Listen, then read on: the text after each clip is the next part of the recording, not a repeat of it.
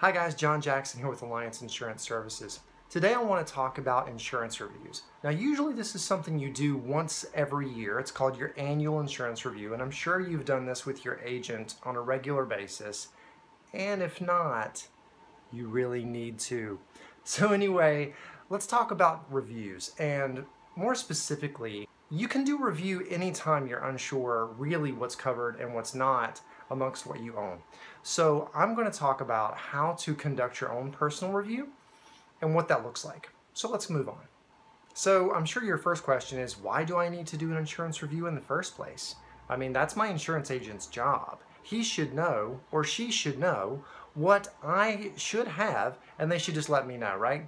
So that sounds like it should be the case. But think about this. No one knows what you have better than you. So being proactive, just like making a budget or any other responsible way that you manage your finances and your assets, being proactive when it comes to insurance helps to ensure that you don't miss anything and that you're adequately protected. So it's really important to do a review every once in a while to make sure that there's not some big thing missing that maybe you really, really need covered. So that's why you should do a review yourself at least once a year in addition to the review that you do with your agent. So now that we've kind of talked about that, let's really get into what a review looks like. So the first thing you're going to want to do is look at the most basic levels of insurance, right? I mean, your auto and your home, and find gaps in coverages there. So most of you have a car or a truck or some some kind of vehicle. So you have a policy that protects those vehicles. You have an auto policy. I want you to go ahead and look at your auto policy and then look at the vehicles that you have and do the math. If you are in an at-fault accident and your car is totaled, will your policy cover it? If you've got liability only, I can tell you right now it's not going to. So right off the bat, if you have liability only, you're taking a massive risk. If you do something that puts you at fault, then you could lose your vehicle. And for most of us, that's a massive, massive problem, especially because that's how we get to work. So you need to think about your auto policy in a different way, other than just how much you pay every month or every year. Now, secondly, what you need to do is think about the liability aspect. If you have minimum limits, I want you to compare those minimum limits to a brand new Mercedes or BMW. Because if you go out there and you hit one and you total it, that's coming out of the liability portion of your auto policy. Think about that.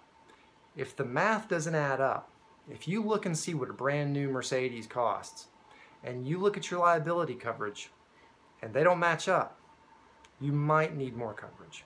So minimum limits almost never provide enough protection if you hit even a mid-range sedan in the modern world. I mean, we're basically driving around in computers with wheels. So if you don't have the right amount of coverage, that's a massive gap. Now let's talk about your homeowner's policy.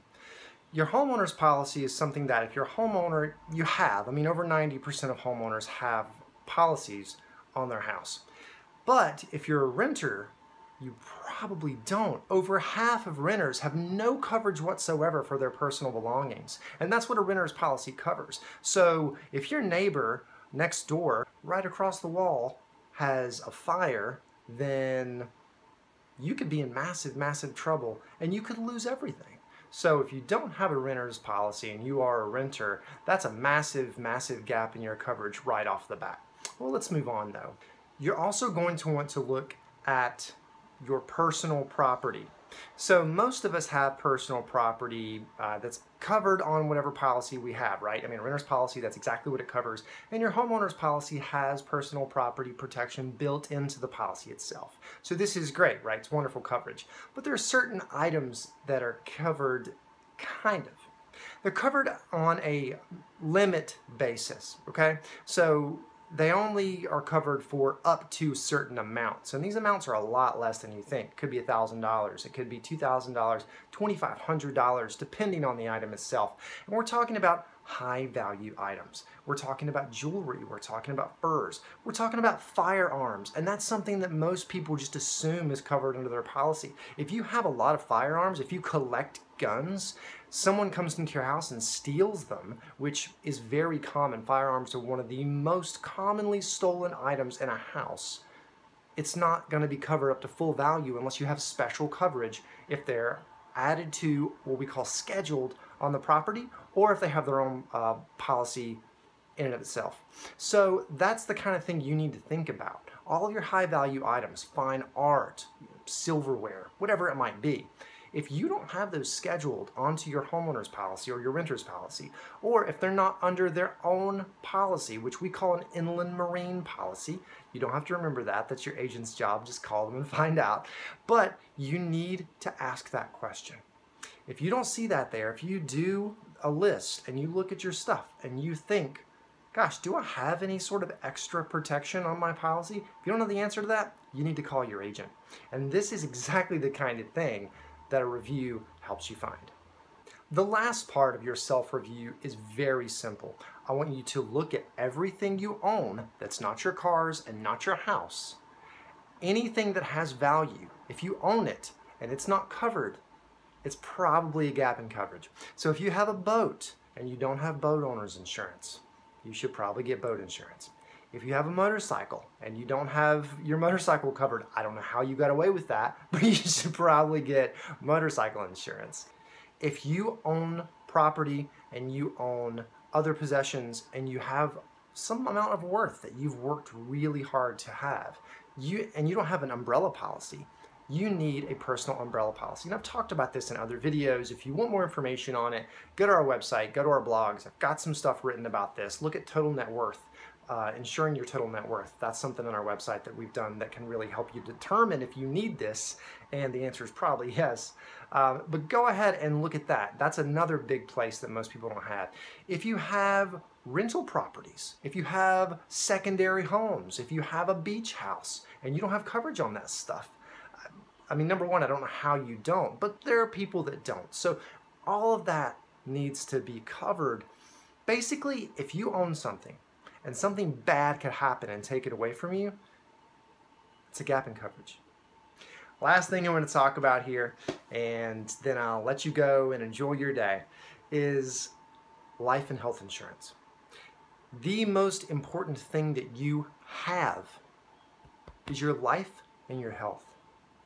If you don't have that covered, you know, I, that's the most basic thing that you need so life insurance is incredibly affordable, especially if you are young and if you're healthy.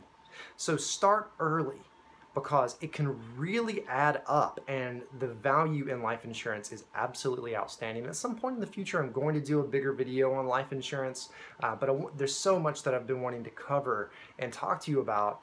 Uh, so I'll get to that eventually. But really life insurance is key. If you don't have it, call your agent immediately, have that conversation, at least get the information so you can decide, okay, I can't do it now. Why don't I do it in a few months or why don't I do it soon? Plan that out. And as far as health insurance goes, we pretty much all have to have it now.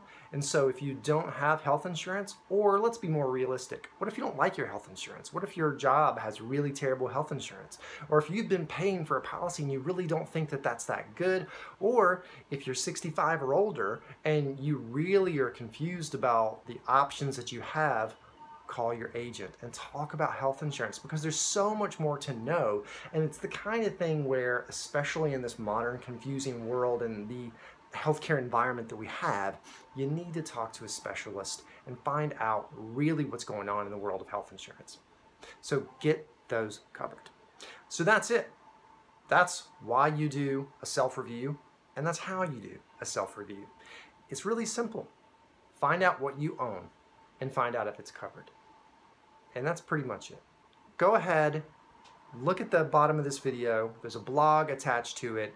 Go there and check it out. If you have questions, ask us here at Alliance. We do insurance reviews literally every day. And this is what we do for a living. If you aren't one of our clients, reach out and we'll be happy to help you if your agent doesn't really like doing this kind of stuff. So fill out the contact form on our website, reach out to us, give us a call, shoot us an email we will be happy to help you find and make sure that you have the protection that you need.